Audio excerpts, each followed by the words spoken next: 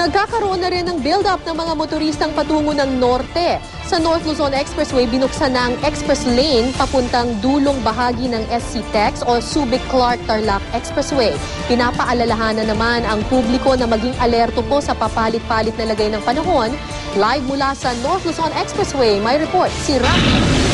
Rafi.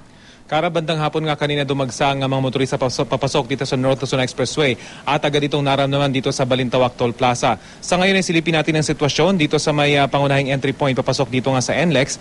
Makikita natin ng uh, pag-iipon ng mga sasakyan pero bahagya na itong uh, nabawasan kung uh, ikukumpara kanina ang uh, pila ng mga sasakyan na abot ng mga dalawampung uh, sasakyan ng pila bago ka makarating sa entry barrier ng uh, naturang uh, toll plaza. Ang isa pang entry point mula sa Maynila, ang Mindanao Avenue Tollgate naman, ay medyo maluwag pa rin ang uh, daloy ng uh, mga sasakyan. Paalala nga ng uh, pamunuan ng NLEX, yung mga gustong umiwas dito sa bahagya lang naman na build-up dito sa may Balintawak Toll Plaza ay pwedeng dumaan dito sa mas maluwag na Mindanao Avenue entry papasok dito sa NLEX.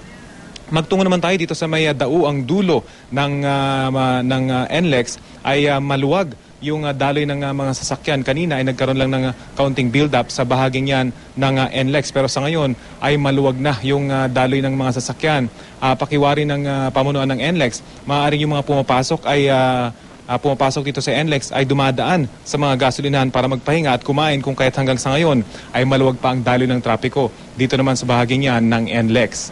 Magtungo naman tayo dito sa may Bukawi, uh, Bulacan kung saan kaninang hapon ay nagkaroon ng build-up. Papasok ito sa ng, uh, Maynila, Kara na ipinagtaka naman ng uh, pamunuan ng NLEX. Kanina kasi ay uh, punong-puno itong mga papasok na sasakyan uh, ng Maynila. Pero sa ngayon ay maluwag na rin ang daloy ng trapiko dito sa southbound lane ng uh, NLEX. Kanina naman Kara ay hindi nakaapekto sa mabilis uh, na daloy ng trapiko yung biglang buhos ng ulan sa ilang bahagi ng NLEX. Matapos ang napakainit ng panahon bandang tanghali kanina, malakas na bus ng ulan pasado alas 4 ng hapon ng sumalubong sa mga motorista bandang Balagtas at Bukawi, Bulacan. Sa lakas ng ulan, halos hindi makita ang kalsada. Pero sandali lang naman ang malakas na buhos ng ulan. Kaya naman ang Red Cross sa bantay biyahe booth ng GMA News TV sa Balagtas, nagpaalala sa mga motoristang bibiyahe ngayong pabago-bago ang panahon. Magpahinga muna bago bumiyahe uh, or mag-take muna ng lots of fluids para sa biyahe nila eh hindi po sila talaga mahilo makasurvive sa hilo. Yung iba kasi natatakot na baka ihi ng ihi. Pero marami namang stops dito, di ba? Marami, na, marami naman po tayong stopover. So po pwede po silang umihi ng umihi. If ever na kailangan talaga nila mag-take ng fluids, kailangan, nila po, kailangan po talaga nila mag-take ng fluids. Kabubukas lang ng bantay biyahe booth, dagsa kagad ang mga nagpapacheck up. Kadalasan, pagkahilo daw ang idinadaing. Bukod sa libreng blood pressure check-up, may mga libre ding items na pinimimigay sa booth para naman sa mga kapusong magbabakasyon ngayong Semana Santa itong Bantay Biyahe, seventh year na namin ginagawa to. So, aside from the free blood, blood pressure check-up, may mga freebies din pwede silang makabunot ng mga travel essentials like tumblers and umbrellas and yung mga mini-fans nga namin. Kaninang umaga, nag-inspeksyon naman ng mga opisyal ng Toll Regulatory Board sa operasyon ng Tollways Management Corporation. Nais tiyakin ng TRB na maayos at operational ang mga motorist assistance centers sa kaba ng NLEX para sa inasang mahigit 200,000 motoristang dadaan dito gusto namin na maging maganda naman yung experience nila or hindi naman masyadong mahirap yung experience nila dahil alam naman natin andyan na yung traffic given na po yan every year. So we'd like to make that a little bit more bearable naman this year para sa lahat ng motorista. Kara malaking bagay umano yung pagbubukas ng uh, express lane para naman maluwag yung daloy ng trapiko dito sa North Luzon Expressway. Mga 700 or more than 700 plus daw yung nag-avail nitong express lane kung kaya't napakaraming uh, mga motorista yung tuloy-tuloy na yung biyahe mula sa Balintawak entry at sa Mindanao entry hanggang sa Tarlac at uh, Subic uh, exit naman ng SCTEX. Kara? Rafi, sa mga oras na ito, gano'n na raw karami yung mga motoristang dumagsa dyan sa North Luzon Expressway?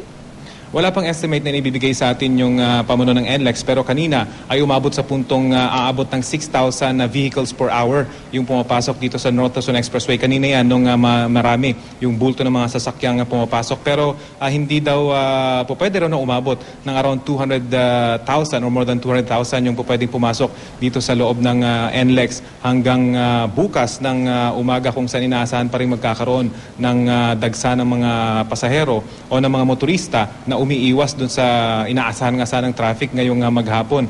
At ah, hanggang ah, bukas ng umaga, inaasahan pa rin marami yung bibiyahe dito sa NLEX. So parang hindi pa nare-reach yung peak ng, ng daloy ng trapiko.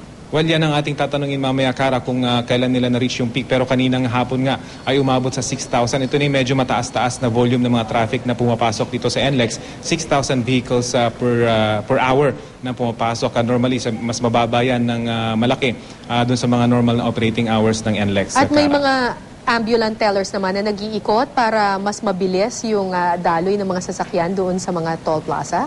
Kaninang hapon, Karay, nag-deploy sila ng uh, mga ambulant tellers pero umabot lamang ng isang oras yung deployment ng mga ito dahil nga maluwag yung uh, daloy ng mga sasakyan dito tuloy-tuloy.